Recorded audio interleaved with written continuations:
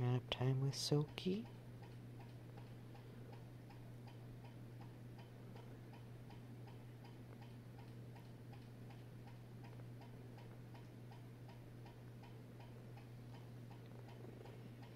I love you too.